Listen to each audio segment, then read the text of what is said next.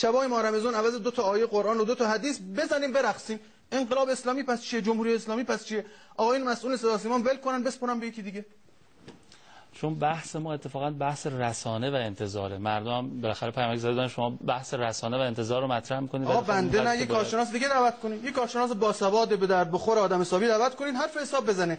این که حرف حساب زده نشه سخته. این که صدا و سیمای جمهوری اسلامی بعد از 34 سال قرتی بازی و ای... رقاصی و فیلم سینمایی خارجی همه جور همه اینا عالی. خب مردم ماهواره تماشا می‌کنن. بسیار. الان یه جور شده برای فیلم مذهبی و برنامه مذهبی هم مردم با شبکه‌های ماهواره دینی رو نگاه کنن. این فاجعه است برای صدا سیما جمهوری توکل به خدا آقا انشالله به برکت ماه مبارک رمضان. بالاخره شما هم حرفاتون از سر درده بالاخره همه دلشون می‌خواد واقعا برای امام زمان حرکتی بکنن. اینجا درد لازم. نیست. اینجا شعار هر کسی بده بنده اگه الان چفیه گردنم بندازم. شعار بدم همه راضی‌ان